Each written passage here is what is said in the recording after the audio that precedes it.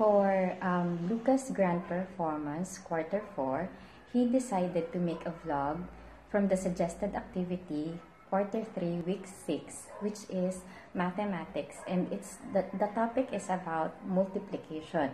Let's watch him as he, as he answer it and as he explained how he understand the concept of multiplication, which is simply a repeated addition.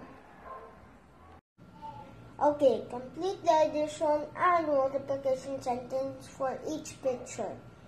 Okay, so there is there are four boxes and each inside of them there are two inside of each box. So I'm going to put four twos into here. So one that's one two. Now the second two the third 2, and the fourth 2. So 2 plus 2 plus 2 plus 2 equals 8. So I already put the answer. And 4 times 2, you already know the answer is 8. So, to the next one. Okay. So there are three boxes and each inside of them there are three nuts inside of it. And there I'm going to put three threes in each of these. As you can see, so 3 plus 3 plus 3 equals 9.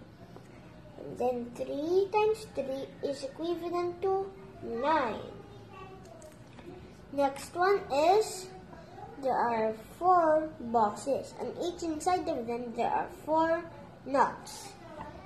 So I'm going to put 4 fours in each of these as you can see. And now I'm going to put 4 plus 4 plus 4 plus 4 equals okay this is a little hard so we're going to plus them. 4 in naman labas yung 4 kaso ng 4 ay 8 so we have 8 already when you combine this. Now two more 4s to go 8 plus 4 is equivalent to hmm, 9, 10, 11, 12. Now we have 12. And then 12 plus 4 is equivalent to 16. We found the answer. It is 16. 4 times 4 is equivalent to 16. On to the last one. So there are two boxes and there's six nuts inside. So 6 plus 6 is equivalent to 12.